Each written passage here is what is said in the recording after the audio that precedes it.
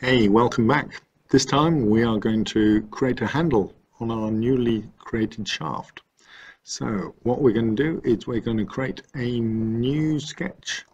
Create a new sketch and we're going to click right on the end of that shaft and that didn't work.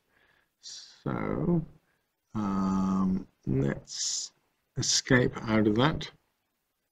Uh, we're going to delete the new sketch so go there, press delete. Um, oh, hang back, let's stop the sketch. Press delete now, and that's gone back to where we were. Okay, let's try that again.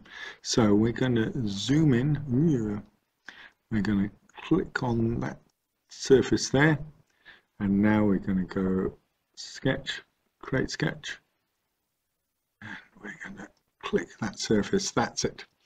Okay, so what we're going to do is create a rectangle. So we could have pressed the R for rectangle. Going to have something like that. I reckon we should make it about 15 millimeters long and 20 millimeters wide. Okay, press enter. Um, now, we really want this sketch to be somewhere around here. So we now go and hit D for dimension or go sketch and D down there.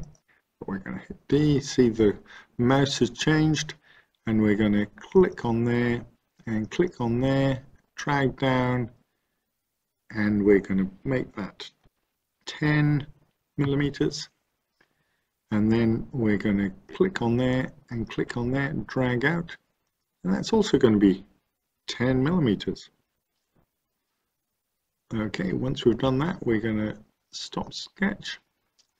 And now we're going to extrude. What are we going to extrude? We're going to extrude that way, but we're not going to go that way. We're going to go the other way. So we're going to go minus 10. And let's have a look. That's going to join. So that means that this is going to join this part okay.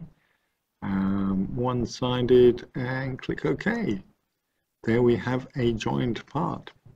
So if I go and whiz around you should see a little bit of a gap there. Yeah. Um, maybe I should have if I go and select this um, if I go in can I edit edit edit edit feature. I'm going to edit this feature here. Uh, let's try again. Edit profile sketch, edit feature. Extrude 2. Right. What I'm going to do, I'm going to um, try and offset it offset plane. So I'm going to offset it by a millimeter. Let's just whiz it around, press shift key. I'm not sure if that's right. So I'm going to make it 10 millimeters. Ah, no, that's the wrong way. So I'm going to make it minus one. There we go and click OK. Now click there and you can see it's just poking out there so you can still actually see it. Because if you made it flush with that in other words no offset it just merges into one. There we go